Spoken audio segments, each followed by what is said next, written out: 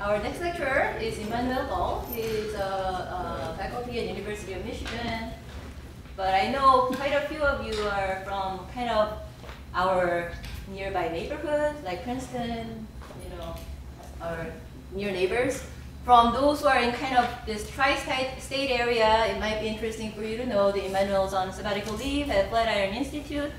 So, you know, if you generate some interaction, you might be able to actually have, you know, in-person discussions with him. Um, uh, I think our first lecture went really well in terms of you guys all getting very engaged and asking a lot of questions. So I would just let you continue that. With that, let's welcome Emanuel.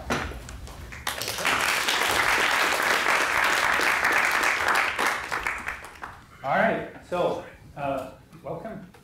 Um, this lecture is about what everybody should know about programming or software engineering. And I realize it's not a physics lecture, and it's not supposed to be a physics lecture. So um, let me just outline the problem here. Um, right, we're, we're all scientists, we're all physicists, right? Our education and our tra training is in uh, physics, it's not in programming or software engineering. But uh, many of us write programs in their daily life. So who is writing programs day in, day out? Can I, can I see them? All right, who is not writing programs day in, day out? Does LaTeX count? No, I, I, think I would count Mathematica. Mathematica um, right, but uh, who here has a CS undergraduate degree? Wow. Who here has a formal computer science education, even though it didn't lead to a degree?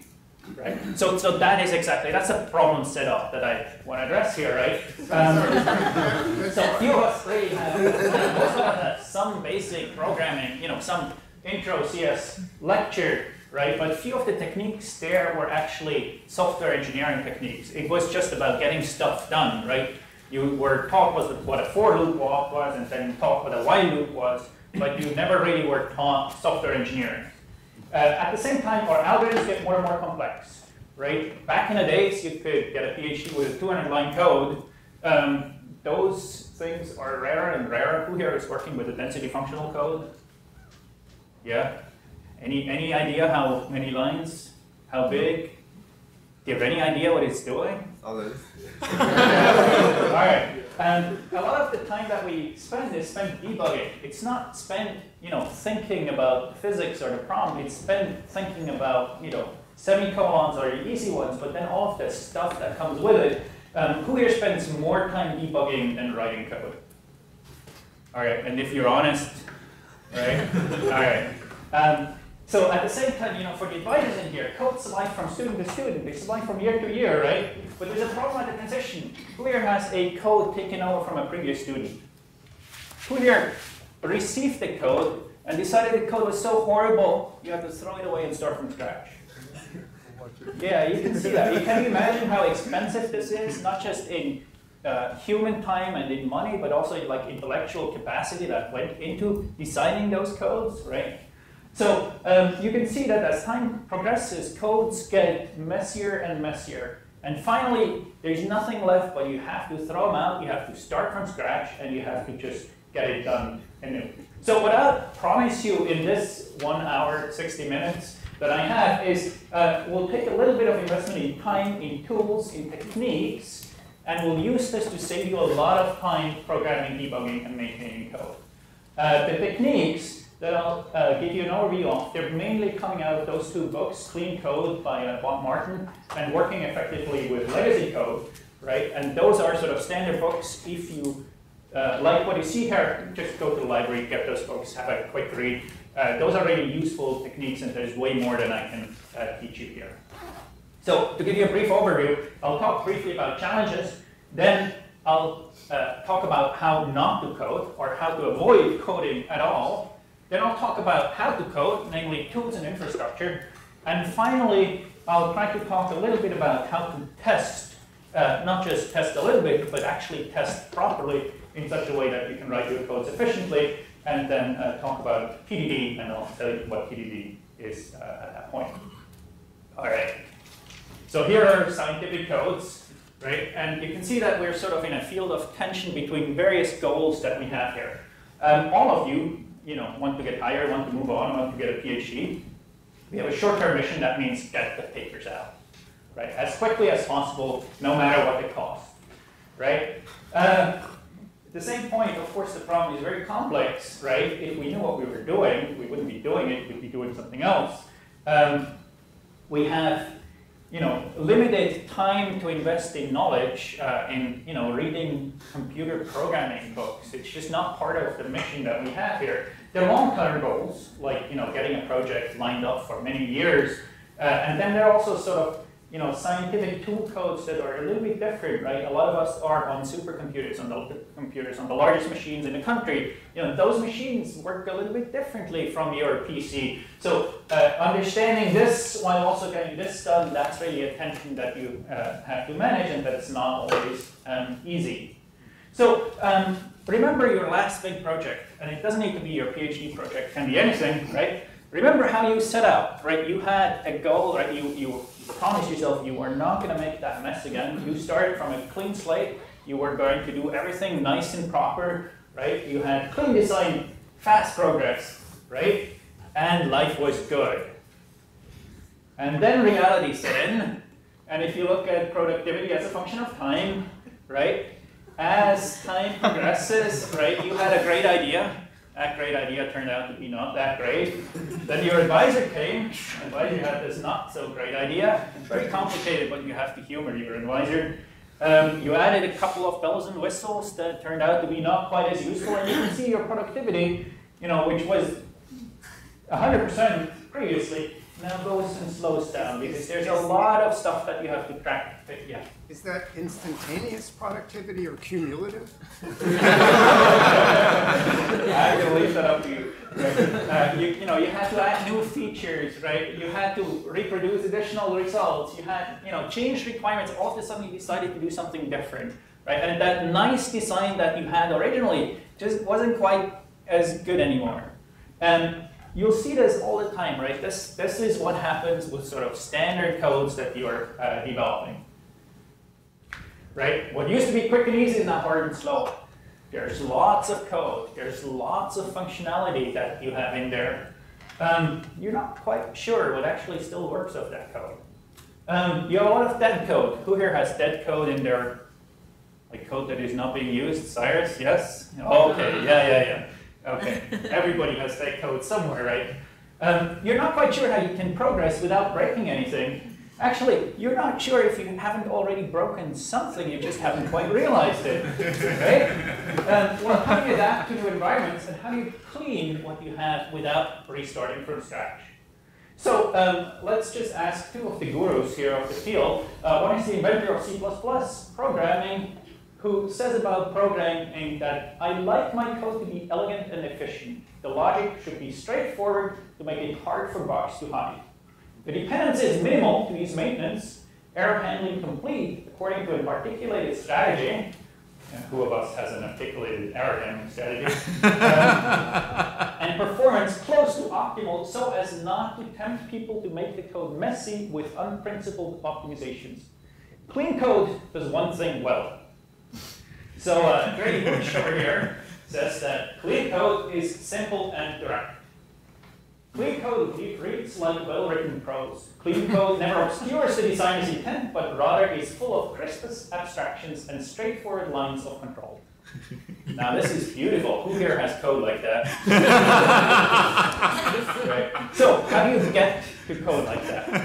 And probably the first and most important thing that you need to remember is that in order to get to clean code, the first thing you do is you don't write code.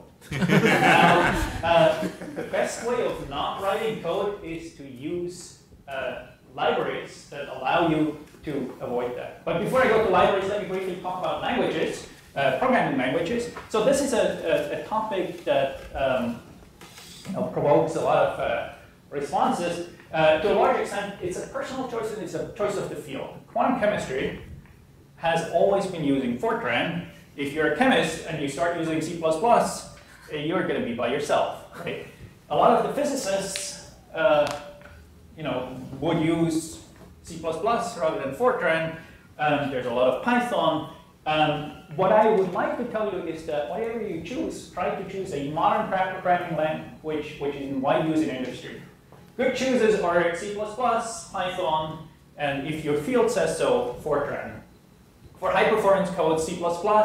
My personal opinion if, is if you use C++, well, by now you can probably use C++ 11, but don't use anything fancier, C++ 14, C++ 17, or anything like that.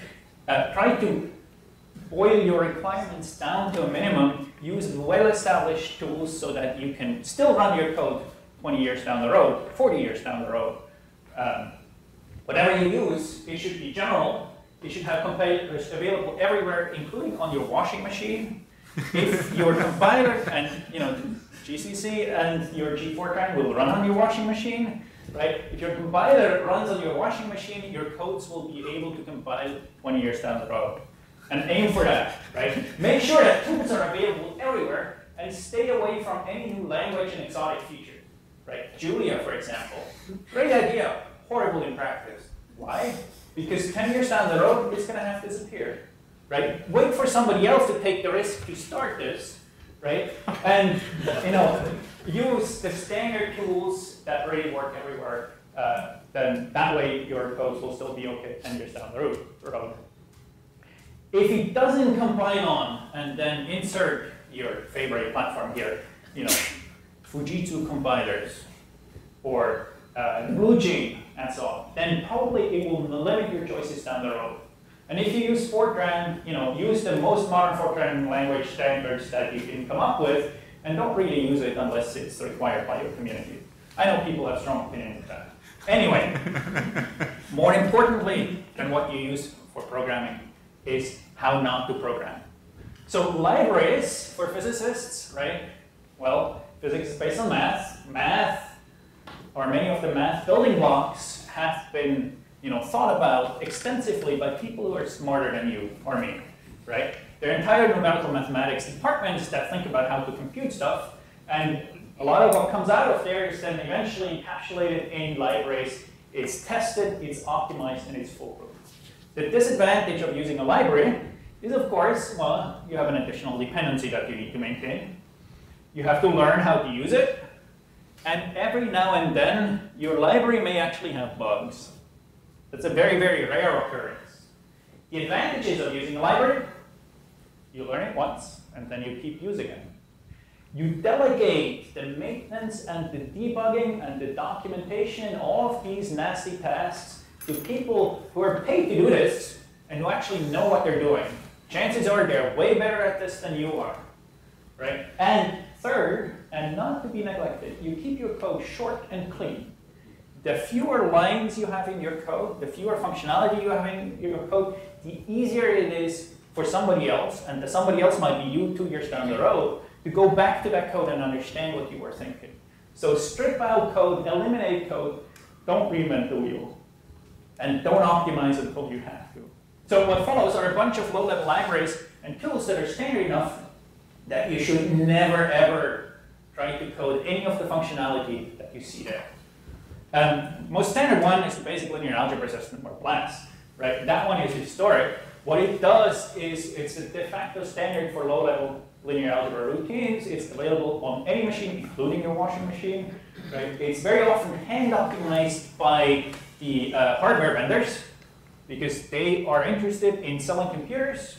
Computers are sold by having high benchmarks. High benchmarks very often consist of running dense linear algebra. So the vendors will make a huge effort to optimize, say, matrix-matrix multiplication routines and similar things in such a way that uh, this is just provided on your platform.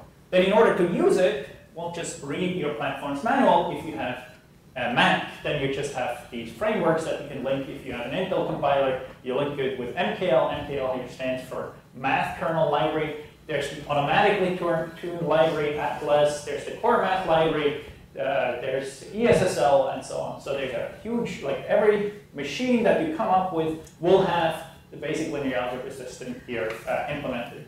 It's separated in three levels.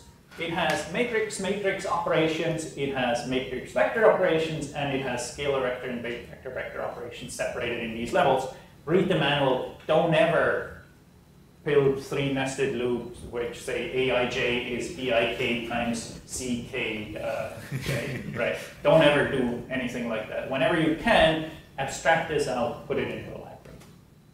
LAPACK, the linear algebra package, is the cousin of the basic linear algebra system. It essentially does all of the linear algebra solvers, right? And you know, it links to BLAS typically, it has factorizations, it has eigensolvers, it has linear system solvers, all sorts of things. Uh, in case you work with linear algebra, right, don't open numerical recipes and start coding, right? Go in here, use the prepackaged software, you know, uh, chances are it's A, it has fewer bugs than what you have, uh, what you could code, and B, it's way faster than what you could code. It's just not worth your time and it's not your job to implement any of the functionality that is in here. Data storage. Um, one of the standard ways of storing data is you open a binary file, you dump your data in there, and you close it. Problem with that is that you have to document your data storage file. Now, HDF5 was developed at Illinois uh, essentially for NASA satellite data. This is a way of storing binary data in a hierarchical format with attributes and metadata information.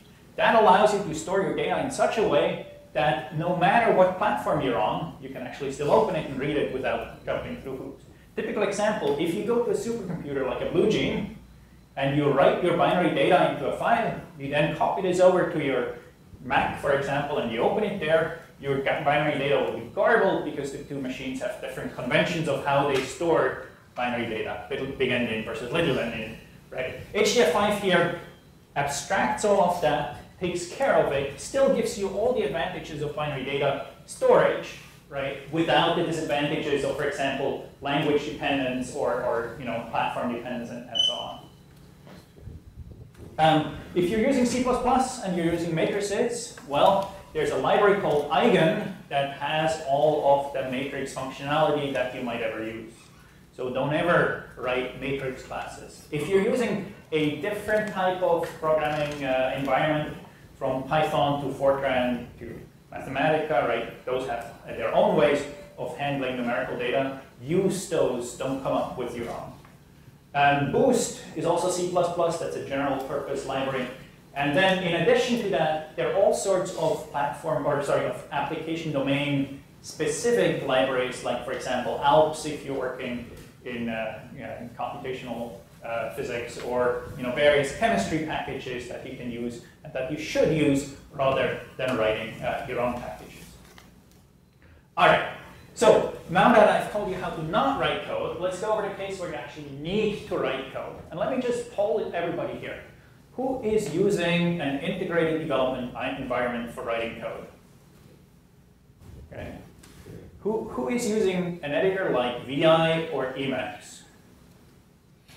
Okay. Uh, who is using anything else? All right. Um, who is using a documentation tool? Doxygen or cousin? Doxygen. Who is using a revision control system? Okay. I hope that by the end of my talk here, this will be 100%.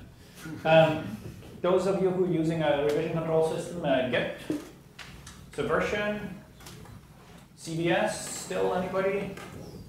And Mercurial, I don't think, has disappeared. Who here is using a unit test system? Very good, one person. A uh, build script or CMake or just make files, handwritten. Who here is using a debugger? Almost nobody. Who here, here is just printing instead of debugging? Okay. Is anybody using a parallel debugger? Good. I never, I never got to, I never understood how to use these. Anybody here using a memory debugger, like Valgrind and cousins? A little bit? Okay. Anybody not familiar with any of the terms that I've mentioned here? Okay, good. So, um, there's no way I can go through all of this, but pick this as, as keywords that these are interesting things to look up if you have half an hour somewhere on a, on a train or so. Uh, there's a lot of stuff behind this. These are very useful tools. Uh, if you don't use them, make a deliberate decision not to use them because you don't like them. Don't just don't use them because you don't know about them, right? Know that IT professionals have developed countless tools over the last, you know, four decades or so that make developing codes easier. There's a reason why professionals don't use VI anymore, right? Let me try to show you that reason, and, and you know, let me try to help you accelerate your uh, development process a little bit. So all I'm going to do here is give you a, a, couple of pointers, and then you're going to have to look uh, for these things yourself. First, IDEs. Seriously, VI. Um, there are a couple of integrated development environments. Uh, Eclipse is one on OS 10. You have Xcode. There's Kdevelop. There's a similar one under GNOME. Uh, there's Visual Studio on, on the Windows. Those are development environments that, uh, do I have a picture here? Right. Look something like this. What you have here in the middle is some random code, and it really doesn't matter what it is. What I want you to look at is that there's stuff here on the left, there's stuff here on the right, there's actually quite a lot of stuff here on the right. Right? This is additional information. It's additional information that your IDE gives you trying to understand your source code, parse your code, and help you, you know, with, uh, you know, completing, refactoring, and so on uh, your. Class hierarchies, function completion, right? Compilation and syntax checks as you type. All of this is very, very valuable. All of this, you know, saves you half a second here and there. But the half a second over the course of a day add up. It is integrated, meaning you're compiling, debugging, and running within seconds. And you'll see that the, a fast cycle of compiling and running and compiling and running and compiling and running and so on is very valuable when you're writing with unit tests, with tests during development. It integrates seamlessly with the versioning system, right? That again helps you cut down your, your workflow.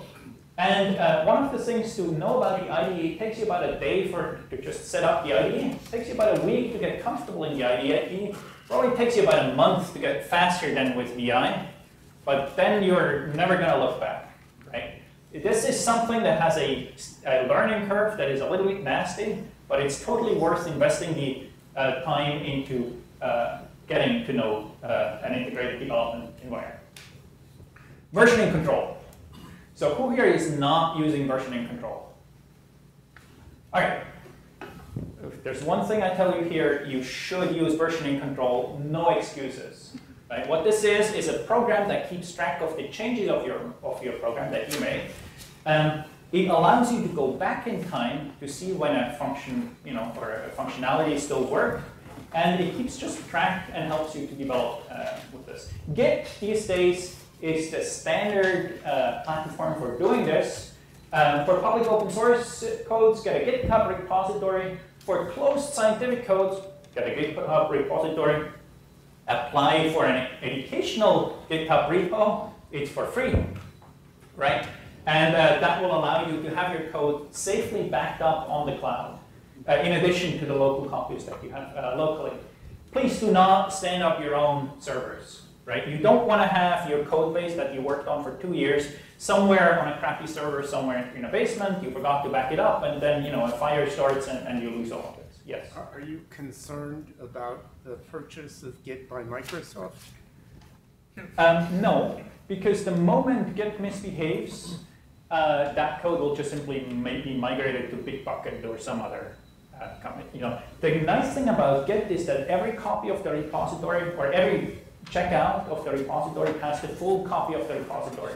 So the moment Microsoft blows up GitHub, that thing will just be pushed to somewhere else, and, and I could not care less. Um, uh, right, so, so please don't stand up your own servers. Uh, if you're using one of those old programs converted to Git, there's really no reason to keep using them. And uh, do you know how to branch, merge, rebase, or resolve conflicts? I have here a practice session that we did in a different summer school where these lectures come from. Um, that's something very useful that you should just, you know, if you have 15 minutes, you should do a tutorial on YouTube. You know, there are about 200 of them. I checked this morning. And, uh, you know, pick your random one. They're all the same. And just follow along to learn how to operate a repository uh, like that. If you prefer graphical user interfaces, use SourceTree, use the GitHub uh, user interface, uh, and, and, learn about the additional functionality that you could uh, get there. Why Git?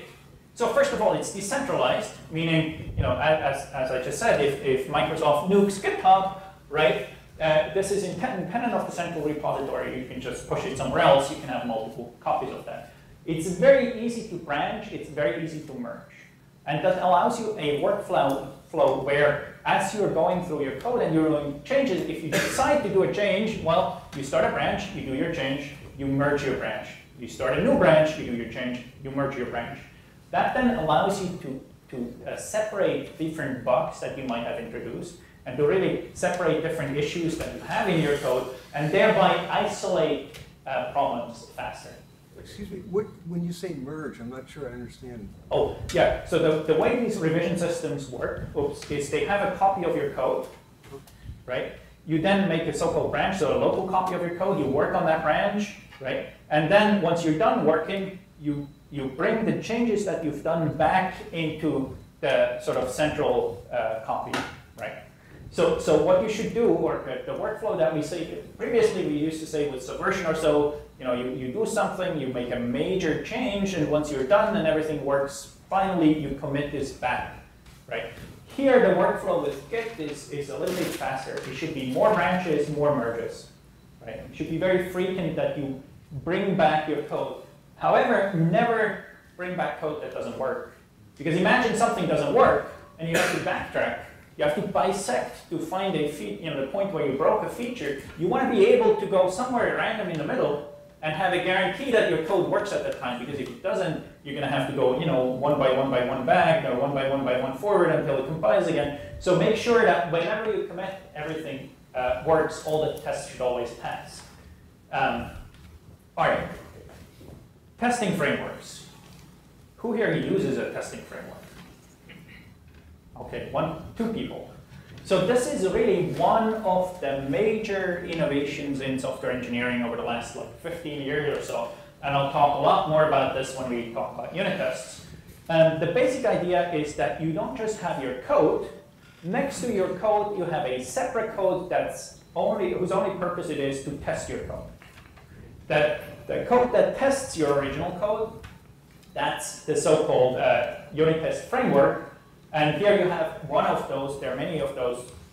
Uh, JUnit for Java, for example, was the first one uh, that helps you test here in, for example, test a small feature of a 2D Ising model simulation where, for example, you would just create a simulation, then you test that you can get the length and the temperature, then you test that you can uh, get the right flip probabilities and so on you have all of these individual tests, they'll be combined separately. You can then run them, right? And you can see, oh, this test passed, this test passed on, oh, and then here there's a test failure that tells you that something in your code is not okay.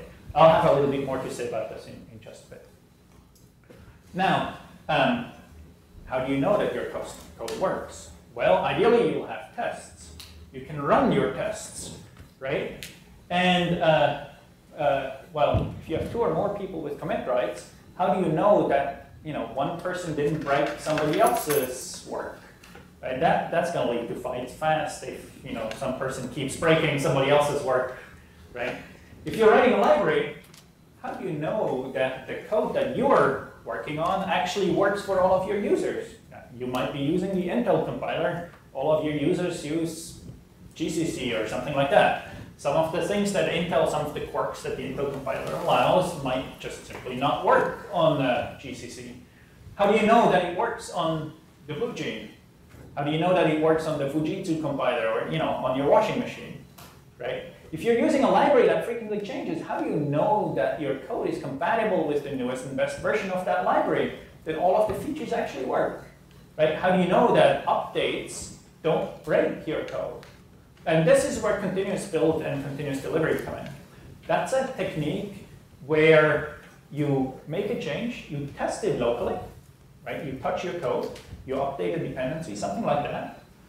You make sure that it works on your computer. You check it in, you commit it to that repository, you push it off to the cloud, to GitHub or whatever, and then once it arrives there, it runs automatically a test suite right? All of my tests on a large range of platforms, all of the exotic compilers that don't work or sort of partially work. And it verifies that what uh, that this thing then behaves as expected. In other words, it goes back to your unit test framework, it runs all of these tests automatically, and it checks that every single one of those tests pass. If a test fails, you immediately get an email. You get this email typically within about five minutes of doing something bad, right? You've just tested it locally, so you still know what you were doing. You still know what you, how you broke it.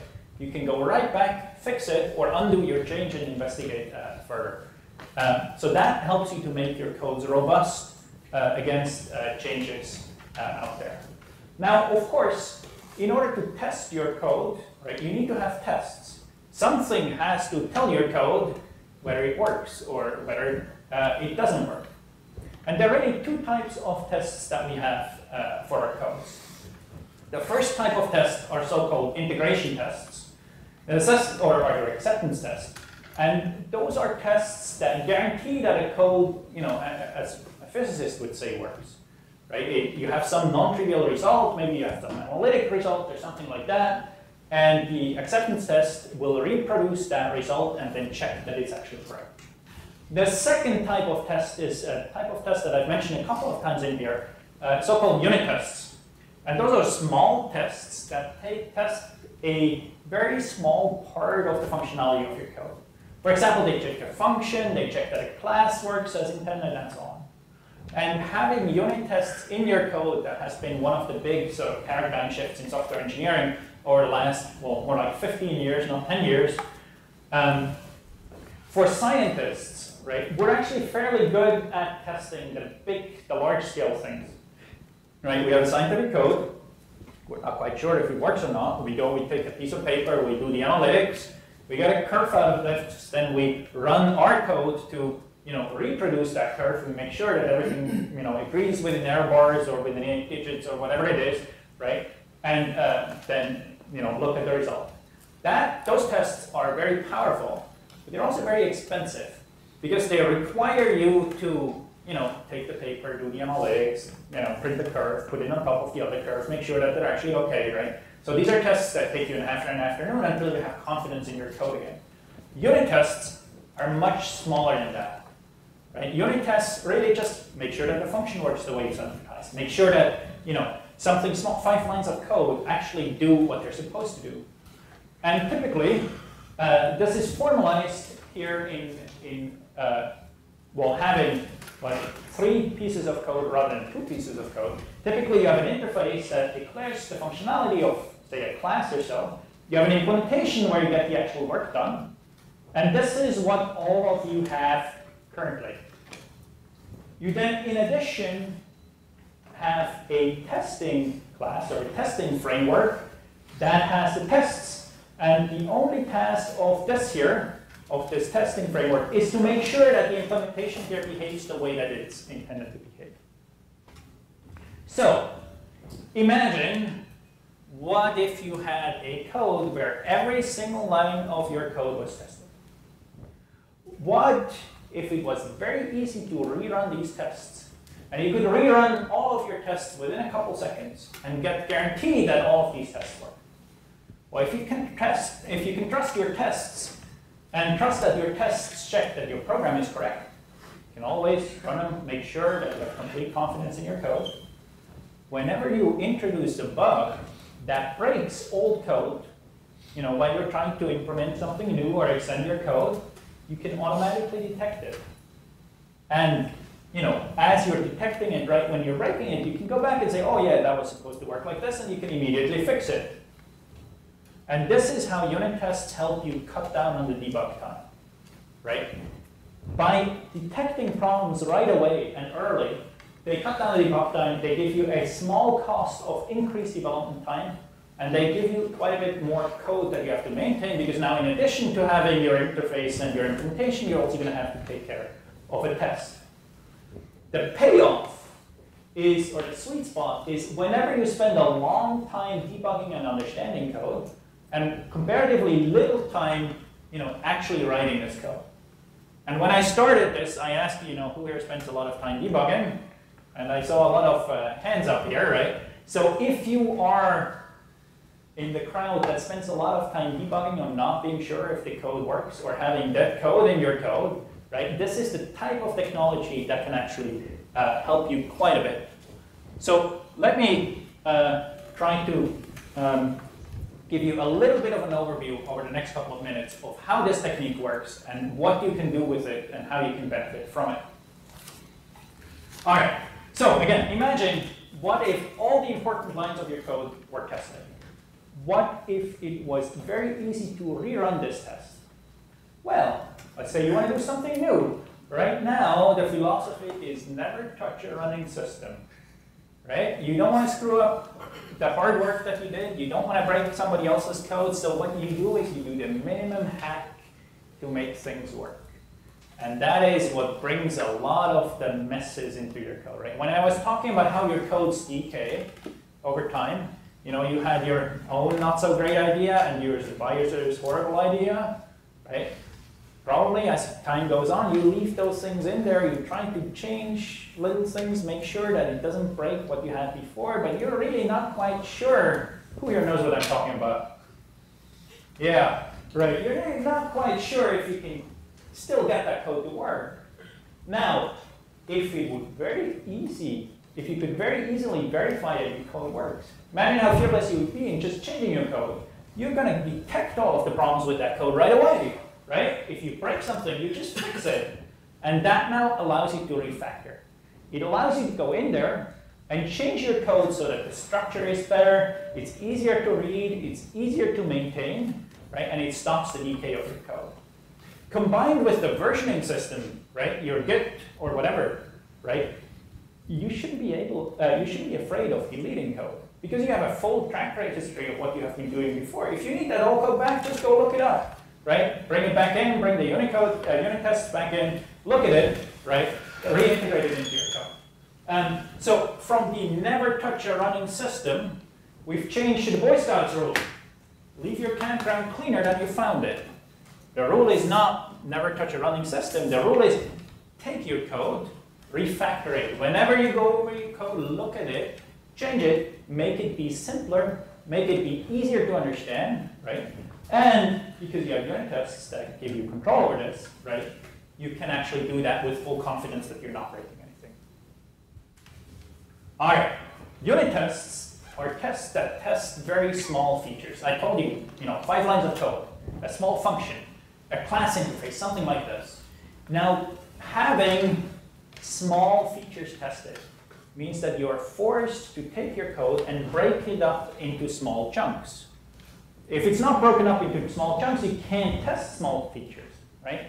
So the breaking up into small codes, technical word is decoupling, right? Uh, having, being able to test small features means being able to decouple your code. That means unit tests force you to write modular codes which have clear dependencies and clear boundaries. Right? You're going to have clear interfaces where a different part of the code calls this part of the code or is dependent on this part of the code. Modular code is way easier to maintain. Right? The main reason for that is that if you need to understand a modular code, well, you need to understand it one module at a time. You don't have large dependencies that end to start out in one part of your code and go all the way over to some different part of your code. Now, the tests, uh, once you're done, are then removed from the main code. They just live in the unit framework. So the code that you're shipping, or the code even that your advisor gets to see, right? They never need to have the unit test framework uh, attached to it, right? And the production code will never know that these tests even exist. But if you have somebody else working on that code, or if it's you yourself who comes back to that code two years down the road, the unit tests are the best possible documentation that you can have for your code. Because now it documents every single function of your code. It tells you exactly how you intended to call that function, what the variables were, right? What the names were, you know, what the different boundary conditions were, what the test cases were, right? All of these is out there just in your code, and it shows every single way that a class or function is supposed to be used. Of course, unit tests will not cure all of your bugs, right? the logic problem, the sort of thinking problems that you did, they're still there, right? It's the small computing problems, the sort of logic bugs that, get eliminated, or, or not logic bugs, but you know, the, the smaller programming bugs that get eliminated by these uh, things. They can introduce their own problems, right? They can be too slow to execute. If you have, uh, you know, a thousand tests and tests run in 10 milliseconds, it will you, uh, take you 10 seconds to test your entire code. Typically, you would like to have your code tested in about a second or so. Um, if you can test your code in about a second, then you can run these unit tests very, very often. Essentially, you uh, implement the test, you implement five lines of code, you run the entire test suite, that takes you a second, right? And then you go back to, to implementing this. So too much overhead and too much baggage is one of the limitations that you can uh, run into. Does that mean you don't need to catalog the dependencies because you're just testing everything? Um, I, I, think these are separate issues. So, so well-written unit tests will just test a module at a time, right? Now there are intermodular dependencies, and there are tests that still have to test that all of these you know, modules properly talk to each other. Um, those tests are then more acceptance tests, right? They test big scale functionality rather than sort of testing a, a functionality of a small module. But then there's a smooth boundary between those. I was confused because you said a, a thousand tests, 10 milliseconds apiece, so those thousand tests would just be one module? They're typically the entire program. Right? Um, and then a thousand tests is not crazy. So as, as you're writing your, your code, right, you know, that means 5,000 lines if you have a unit test testing five lines of code. Uh, you know, a couple of boundary conditions, a couple of special cases, right? I mean, uh, it adds up quickly. That's why it's important that these uh, um, that these uh, these tests execute very quickly. All right. So in practice, let's get a little bit less uh, um, philosophical and a little bit more practical about this. How do you actually do this? How do you debug? Right? Assume, you know, you find a bug in your code, and uh, I, I would say, assume you find unexpected behavior in your code, you suspect a bug, you don't even know if there's a bug or not, you suspect that something is fishy, right? What do you do? Well, first, you write a test. You write a test that fails, that checks functionality that should be one way, but clearly your code shows that it's another way. You then start debugging. Right? Debugging means you go into that code, you keep writing more of these tests. Some of these tests will pass, some of these tests will fail. I just asked you before, you know, who is using a debugger and who is using just cout, or the, you know, the standard print. Well, if you're using the standard printing routines, you were essentially just doing this, right? You were testing, you know, some lines in your code and making sure that these lines were supposed doing what they were supposed to do, right? Don't do it that way. Write the unit test instead. Right? Put them outside of your functions. Validate your assumptions out there. Right? You'll see some of these tests will pass, some of these tests will fail. The failed tests mean that either you didn't understand what the code was supposed to do, or they show you where the bug is. Finally, you find the bug, you fix the bug, all of the tests pass. Now remember, in your old way of doing this with printing the debug statements or having your debugger, what you would do is either quit the debugger or delete all of those nasty print statements. At that time, all of that information that you had for validating and testing a function is gone. And you're like in, you know, an acrobat without the net. You're just hoping that you're not going to fall again, right? But in a unit test framework, you have these unit tests. What you can do there is leave the tests where they are, clean them up a little bit, make sure that they actually test sensible stuff, right? Clean them in there, and then you have a guarantee that if that bug ever comes back, you're immediately going to find it because you have tests then that would fail in case you're, you're having this problem again. And that means that the bugs are guaranteed not to come back. The next time you encounter something similar, you already have a bunch of tests that are right there, right? You need to extend them to see what else is going on, right? You find the new bug, right? But it'll be easier because you already have a bunch of tests. And then you keep operating like this and uh, you keep cleaning and cleaning until all the tests pass. In science, uh, very often the best tests that we have are just inverse problems. Uh, so we often have a difficult forward problem and very easy inverse problem. For example, if you have a number, you factorize it, right? The solution is difficult, but going back is super easy. You can probably find similar types of you know, tests that you can do in your science application. Those are ideal uh, test cases for quick acceptance tests. Uh, they usually test, test, test the limit of your code, they test, test some analytics, they test something that you understand very well, you know, non-interacting, isolated system, high temperature limit, something like that. That, those, you know, use that knowledge, build it in into your code, test something non-trivial, that usually goes very, very uh, quickly. Uh, yeah, these were the special cases, so let me uh, skip that. And go to uh, a technique that now really allows you to uh, write tests in a, in a you know, slightly better way. So, I told you that, right, having tests is beautiful. You'll always know that your test works as intended. But if you go back to my second slide that I put up where we had this field of tension between the different goals that you have in your science career, right? First and foremost, you have to get papers out, you have to get science results published. So, in practice, we don't actually, we don't ever put the unit tests, right? We don't actually go to the work of implementing this because you know when we write these tests, first of all, all of these tests clutter up the code. Well, that one is solved by the unit test framework. You just separate it out in a separate framework. But you know there really is no need because once we've tested the routine by hand, we know that it works. yeah, right. Uh, and writing tests takes time, time that we could otherwise use, uh, right, uh, otherwise use to write new code, add new features, right? Go on with the science project. So, in practice, if you think of writing a beautiful code first, and then adding a couple of unit tests after the fact, that's just something that never really works in practice. It just, people are not designed to be good at this. Um, so, question is, how do we cover our code completely with tests? How do we get tests you know, into our code in such a way that they're actually, you know, there and not just when shit hits the fan, but, you know, at the time of writing the code when we still know what's actually going on. And this is TDD, uh, or test-driven development. And you should think of test-driven development a, a, little bit like, uh, how should I put this? It's, it's, a, it's a discipline.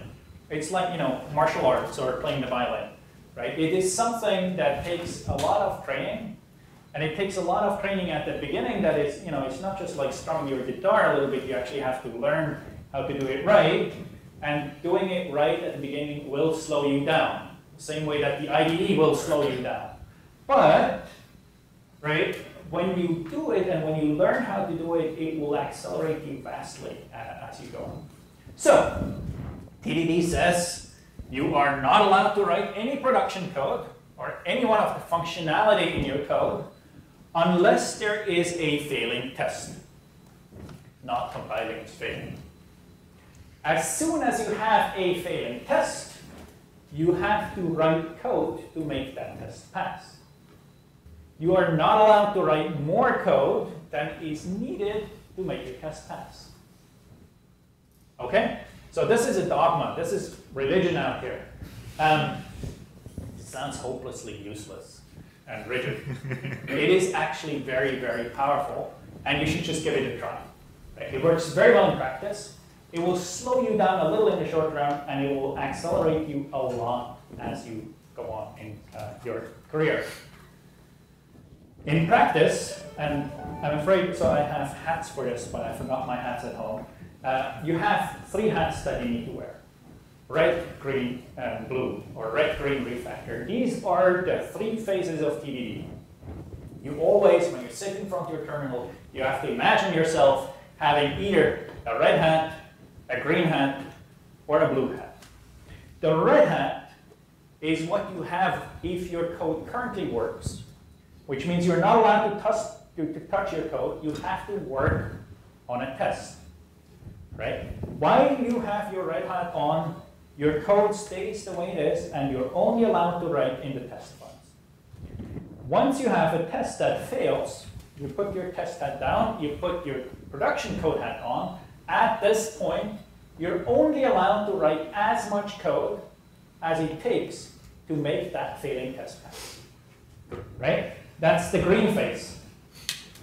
Once you're done with the green phase, you go to your test and your production code, and you're cleaning up. The technical code, uh, technical word for clean up is refactoring, right? You go, you're not allowed to add or remove any sort of functionality.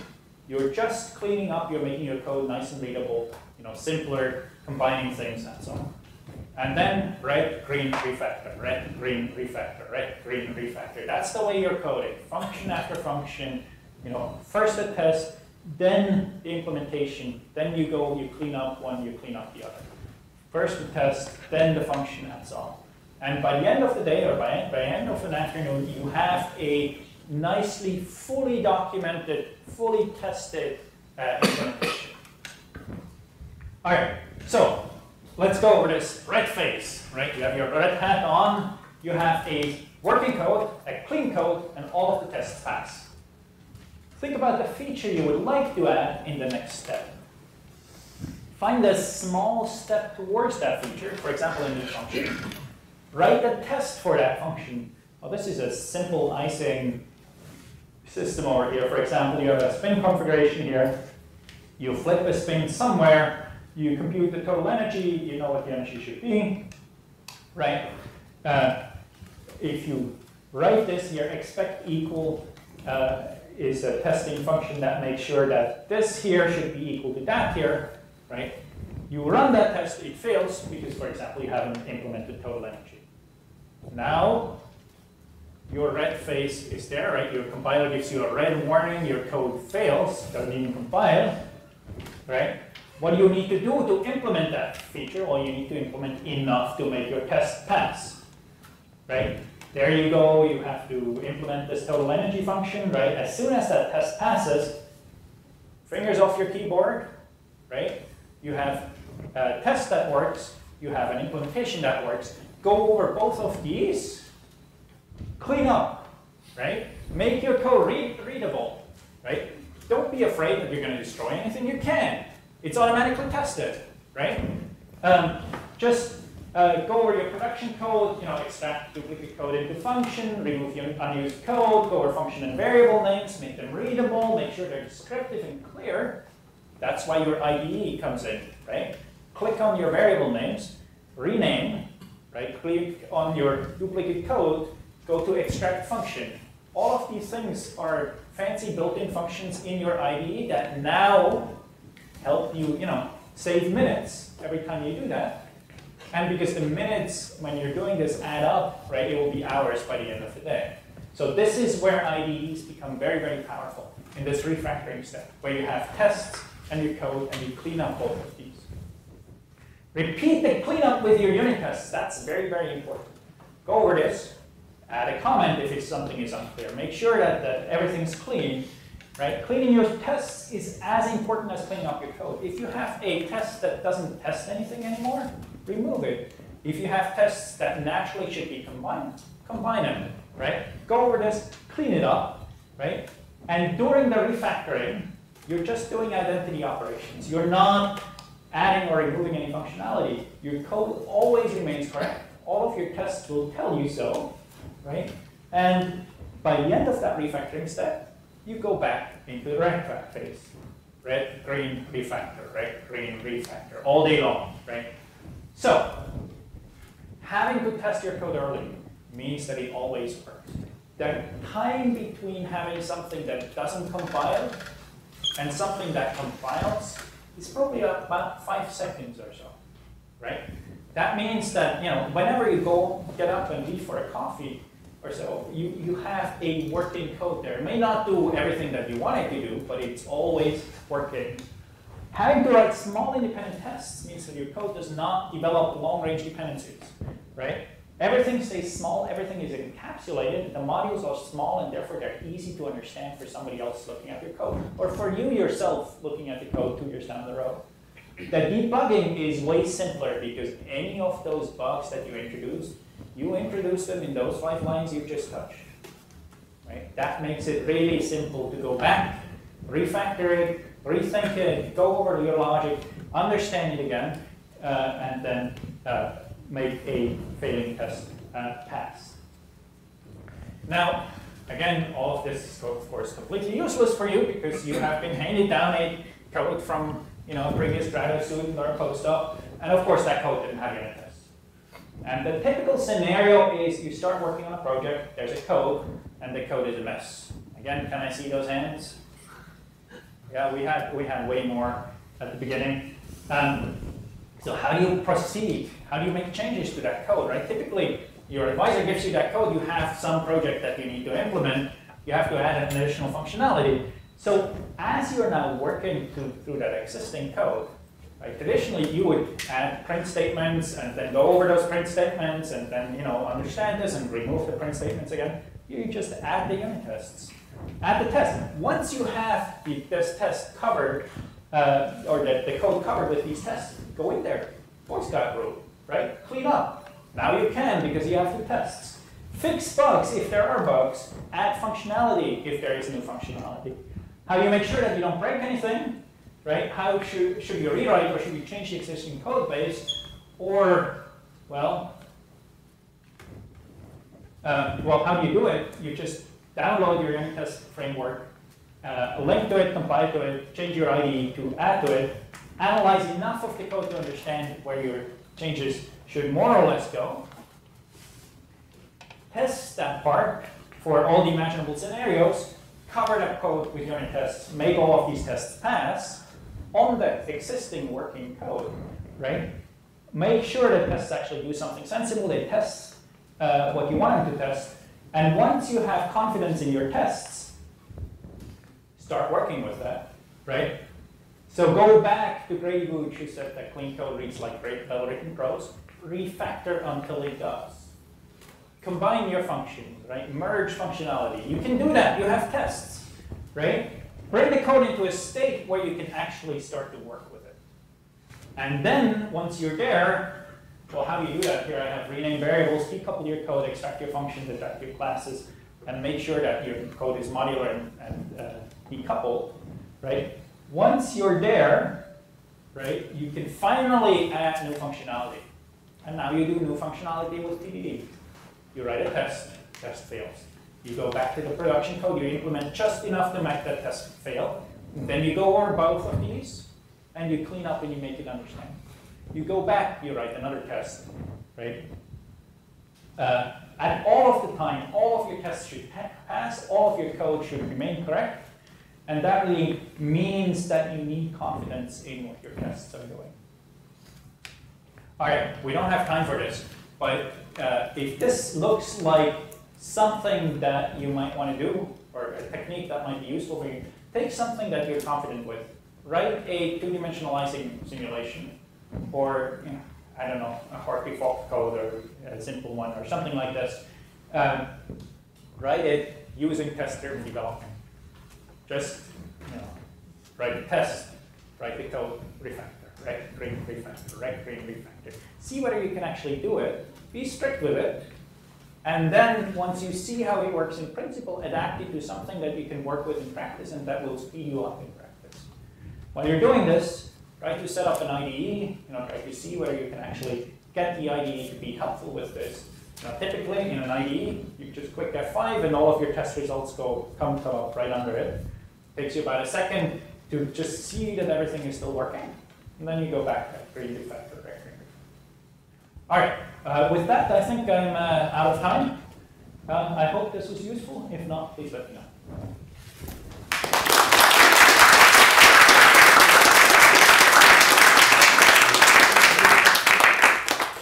Questions? Paul?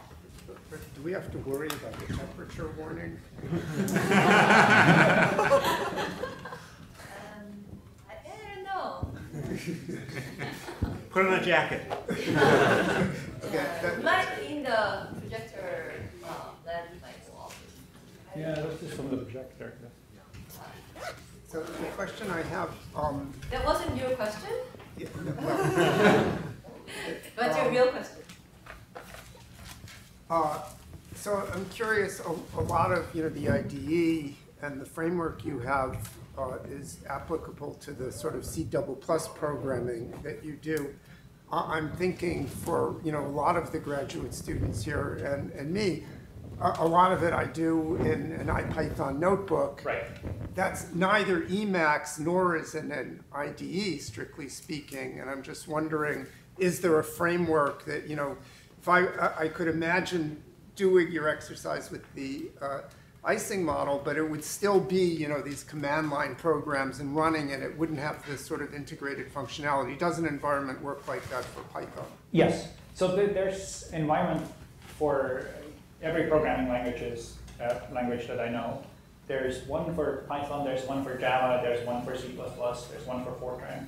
That, the techniques here are so standard that people have developed this. It all comes, they all have the same syntax, it all comes out of JUnit, the, the Java unit test program. Um, I, I, I can show you what it looks like. I like. know there's PyCharm. Does that implement this? Or do you know I- what framework implements I think it's implements called it? PyUnit, PyUnit? yeah. Any other question? So who's convinced to try unit test? or well, to start with IDE or the versioning, any one of them, who's convinced to try it? Oh. Good.